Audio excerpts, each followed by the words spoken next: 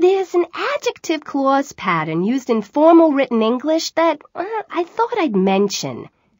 The explorers discovered an ancient monument, the size of which astounded them.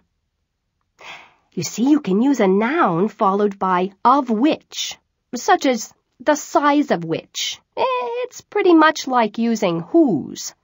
The explorers discovered an ancient monument whose size astounded them whose is more common, but using noun plus of which is another possibility. Okay, I'll see you later, which probably doesn't surprise you. We're not quite done with this chapter yet, but getting close.